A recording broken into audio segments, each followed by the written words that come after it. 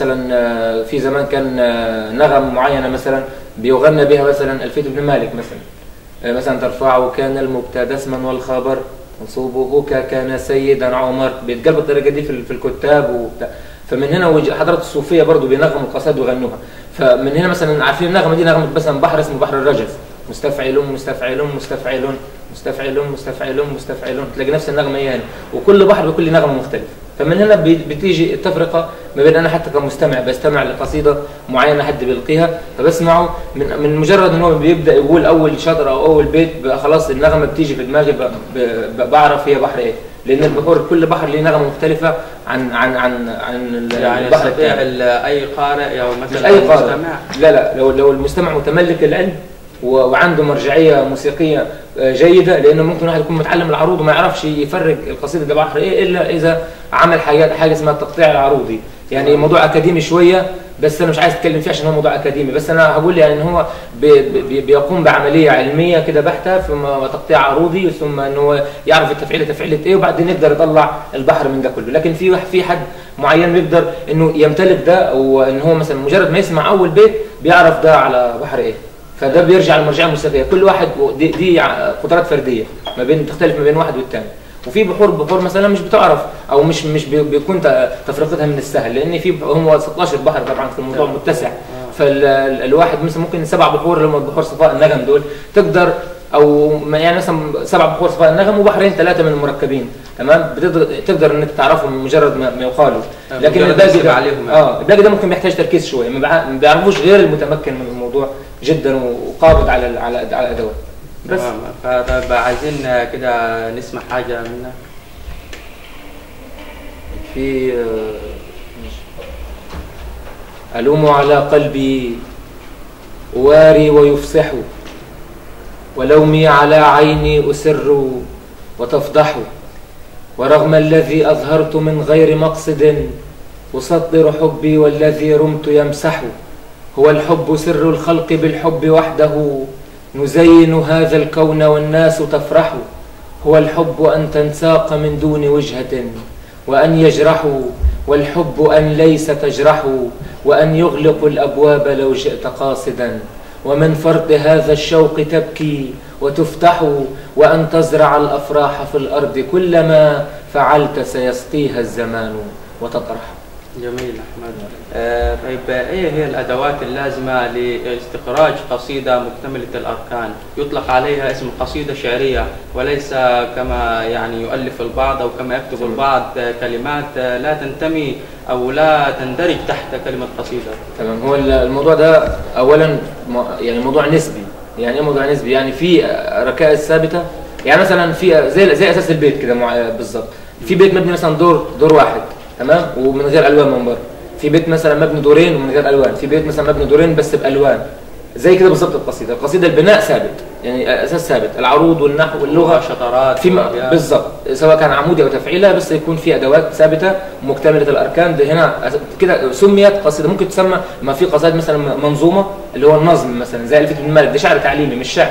ما أقدرش أقول على الفت بن مالك دي, دي قصيدة لكن منظومة أساسها صحيح على بحر آه، الرجز ليس في و- حواس لكن ومشاعر آه، و- بالظبط الشعر من الشعور. آه. فبالتالي أنا الموضوع ده نسبي يعني لما أقدرش أحكم على على على, على نص ان أقول مثلا ده قصيدة. فيما بعد القصيدة إيه طيب الدلالة الرؤية الصورة الشعرية المراوغة الفنية ال- استخدام التراث مثلا استخدام التناص جماليات اللغة وجماليات الكتابة وجماليات الإبداع كل ده بيظهر معايا في النص وده بيكون نسبه بين بين النص والنص الثاني فبيختلف من وده فعشان كده مثلا ممكن تلاقي اختلاف الذائقة. ده برضو نعمة يعني ان مش كل الناس ذائقتها واحدة يعني. فتلاقي مثلا حد يقول لك طب مين أعظم شاعر؟ مثلا في العصر الحديث مثلا وجهة نظرك وتلاقي واحد يقول محمود درويش واحد يقول أمل دنجل واحد يقول محمد عفيف مطر واحد يقول مثلا يقول مظفر النواب واحد يقول بدر شاكر السيار فالاختلاف ده في حد ذاته جميل لأن الذائقه مش واحدة. الموضوع آه، مجرد إن أنا بشوف الركيزة الأساسية ال- وده بيرجع للمرجعية الثقافية واللغوية اللي عندي ما برضو يعني ما وضحت لناش أكتر إيه هي الأدوات يعني هل العروض وحده يكفي؟ هل ما أنا ما أنا بقول لك اللي هو أول حاجة يعني العروض والنحو واللغة.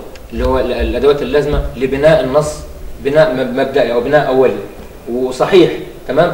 كده دي, دي اسمها الأدوات اللازمة للكتاب تمام. تمام؟ لكن مش هو ده محدد الشعر. يعني يعني مش يعني ده كده اللي يحطك على بداية السلم اللي هو الكلام ده.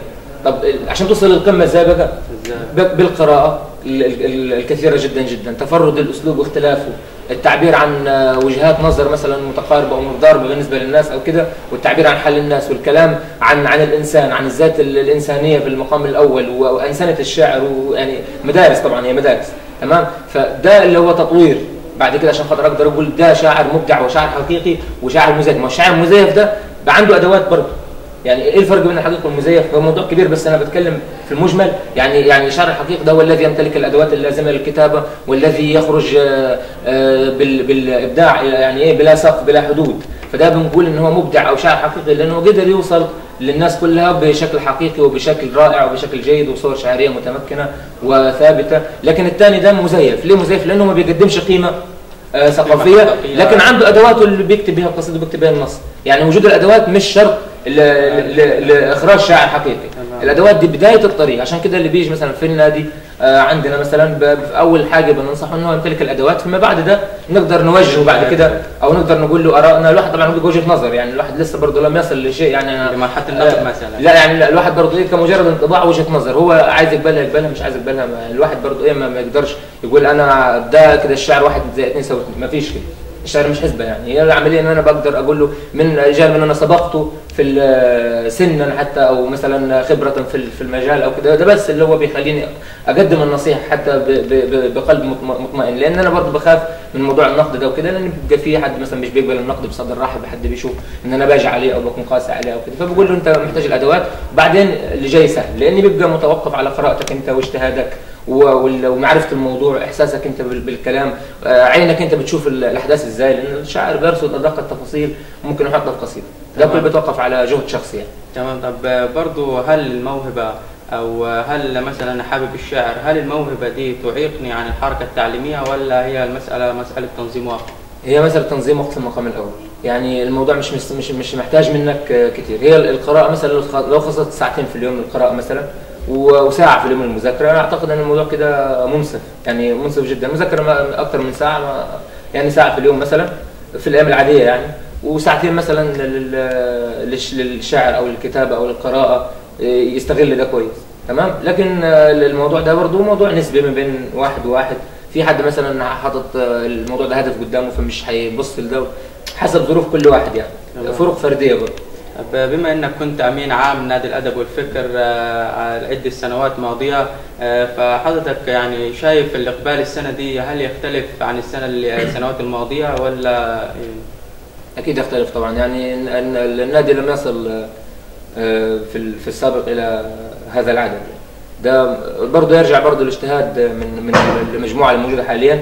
ان هم يعني بدأوا يروحوا الكليات وبدأوا يعلنوا في الكليات من جوا ويروحوا رعاية الشباب وياخذوا البيانات الناس اللي مقدمة في رعاية الشباب إنها تكتب شعر أو قصة أو رواية. تذكر أسماء برضو توجه لهم أو آه طبعا يعني هم اللي تعبوا يعني كتير جدا يعني طبعا روضة أحمد وحسناء دول الاثنين طبعا هم في الهيكل التنظيمي للنادي وأحمد أبو دياب طبعا كان معاهم واللي هم المجموعة كلهم مش عايز أنسى حد برضه. مجموعة الإدارة مجموعة النادي. الإدارة. النادي اللي هم بدأوا الموضوع غير اللي هم دخلوا في ال في, في, في الإطار في لما بدأت الجلسات وكده. لكن الناس دي يعني بدأت تسعى في موضوع إن هم عايزين يحققوا آه، عدد أو يجيبوا رقم آه، يحضر النادي وبدأوا يتحركوا في الكليات ويتصلوا بالناس اتصال حتى تليفوني ويجيبوا الناس.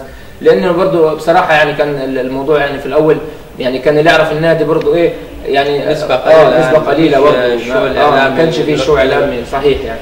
ومع إن طبعا يعني النادي يستحق يعني بقوة إن هو يتحط تحت الأضواء وإن هو يسلط عليه الأضواء لأن هو فعلا مكان يعني آه، بيحاول مش حتى يطور ال- ال- ال- القدرة الشعرية لا ده بي- بيطور الفكر وبنتكلم في أمور فكرية وأمور نقدية جيدة وبنناقش أعمال بيحضروا مجموعة من. الدكاترة يعني والأساتذة في جامعة جنوب الوادي. صحيح طبعا هو ده برضه كله بيساعد المبدعين إن هو مثلا يقدر الواحد يطور من مستواه يعرف أسلوبه ويعرف مستوى وسط الناس فين هو اللي اتاح فرصه من بعد إن أنا حتى أطلع بره وأشارك آه، على مستوى الجامعات المصرية مثلا وأستكشف الأمر بقى عامل إزاي بره وال- والمستوى الكتابه وصل فين. كل ده كان مهم جدا جدا من بدايته بقى هنا يعني من بداية ال- المكان ده. بس. تمام. آه، طب آه، رسالة أخيرة توجهها لجميع الشباب الموهوبين آه، يعني حضرتك تنصحهم بإيه المستقبل؟ والله أنصح يعني أنصح نفسي اولا وأنصح أي حد عنده موهبة.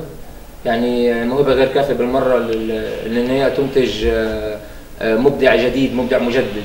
يعني سيبنا من كلمة جديد برضه لأنها برضه غير كافية مبدع مجدد. المجدد هو الذي يضيف. على على القديم. يعني أنا أنا شاعر مثلا في حد أقصى وصل له الشعر دلوقتي تمام؟ مش حد أقصى إن هو كان ماشي من انحدار إلى لا يعني قصدي دلوقتي في آه، في القصيدة العمودية في آه، في عصر الح- الحداثة دلوقتي. فأنت عارف مستوى الناس وصل فين. قدم فيما بعدهم اللي بيكتبوا تفعيله قدم فيما بعدهم اللي بيكتبوا عاميه قدم فيما بعدهم. يعني أنت تفكر هتعمل إيه بعد بعد ال- ال- ال- اللي وصل له الشعر حركة الشعر وصلت فين وأنت قدم بعد كده. يعني عشان خاطر هو يكون سلمة مهمة للي يجي بعده عشان خاطر يط- يطلع عليه ويقدم فيما بعد ما هو ما يبدأش قدم. من أول هي يعني. سلسلة مترتبة على على بعضها وإذا كنت هتكتب اللي اتكتب ما تكتبش ده دايما ده كان نزار بيقول كده يعني ف يعني إذا كنا سنكتب ما كتب فلا نكتب. يعني خلاص أنت ده شيء شيء تقدم أنت بتعيد صياغته وبتستهلكه تاني من أول وجديد وبتعيد تركيبه تاني من أول وجديد فكأنك أنت بتدرس اللي درسته وتقول اللي قلته. فالفكرة دي يعني إيه آه، بترجع بقى إيه إلى المرجعية الثقافية واللغوية الفكرية عند المبدع نفسه تمام. آه، طب عايزين نختم بحاجة كده تكون آه، يعني تود إنك أو كرسالة توجهها للسادة المشاهدين. والله آه، في آه، قصيدة كده آه، هي اللي كنت بقول عليها قصيدة نثرية يعني اسمها لو سأتحدث عني. فهي كانت في ظروف معينة فأنا أحب بس أقولها.